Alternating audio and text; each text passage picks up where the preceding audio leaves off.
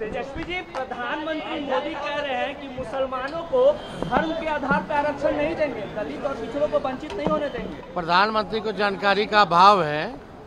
अभी कर्पूरी ठाकुर जी को उन्होंने भारत रत्न दिया, लेकिन उन्हीं के विचारों को वो विरोध कर रहे हैं। जब पहली बार कर्पूरी ठाकुर जी मुख्यमंत्री बने थे तो जितने भी सामाजिक तौर पे पिछड़ी जातियाँ थी, चाहे किसी भी धर्म के हों सबको पहली बार आरक्षण मिला था। इसमें तो जनता दल यूनाइटेड के नेताओं से पूछो ना कि वो इस पर क्या कहते हैं। कर्पूरी जी के निर्णय को गलत ठहराना क्या उचित है क्या?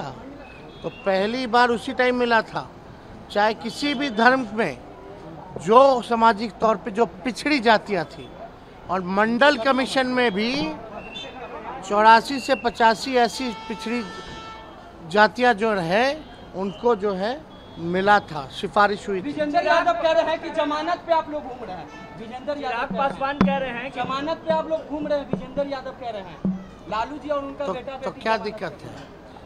वही केस कराए। वो तो कोर्ट ने हमको जमानत दिया है।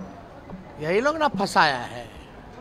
कहाँ से? और, और चार दिन पहले ही लोग क्या कह रहे थे नीतीश जी की जानबूझ के ईडी या सीबीआई वाला इसके पीछे पड़ जाता है। अपने नेता का बात तो सुने हो। चिराग पासवान कह रहे हैं कि तेजस्वी जी चिराग पासवान ने कहा है कि 2020 तेजस्वी यादव को याद करना चाहिए हमसे गलती हुई कि हम लोग अलग चुनाव लड़े नहीं उनका घमंड टूट दहाई अंक पार नहीं करते इस बार यही होने वाला अरे भाई वो सब छोड़िए ना उनकी बात। बैंगलोर में जो हो रहा है कर्नाटका में काहे नहीं बोल रहे चिराग पासवान? और हम तो चिराग पासवान जी को बोलते हैं, आप तो कहते थे कि संपन्न जो दलित है उसको आरक्षण छोड़ देना चाहिए। तो संपन्न दलित है तो आरक्षण क्यों नहीं छोड़ रहे? और भाजपा के नेता लगातार बाबा साहब अंबेडकर के संविधान को ख़त्म करने का प्रयास कर रहे हैं तो मुँह नहीं खुल रहा है। खुलना ना चाहिए। आप तो संविधान को ख़त्म करने वालों के साथ हैं। आप क्या हमको नसीहत दीजिएगा या देश की जनता को बताइएगा? तो इतना खतरनाक डिज़ाइन हो रखा है पूरे देश में। चंडीगढ़ में कितना बड़ा बेमानी हुआ? बीजेपी को कैसे जिताया गया? सुप्रीम कोर्ट का फटकार सुने? क्या हुआ आखिर? रद्द किया गया? इंदौर में जो व्यक्ति था, प्रत्याशी था, उस पर तीन दिन पहले 307 का मुकदमा डाल करके उससे वापस करा लिया गया, डरा करके। सूरत में तो खरीद लिया गया। खजुराहो में समाजवादी पार्टी के प्रत्याशी को नामांकन रद्द कर दिया गया।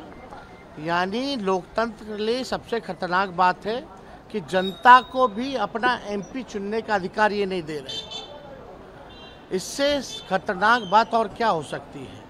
जहाँ आपको मौका ही नहीं मिल रहा कि आप अपना प्रतिनिधि को चुने। सब कुछ वही तय कर रहे हैं।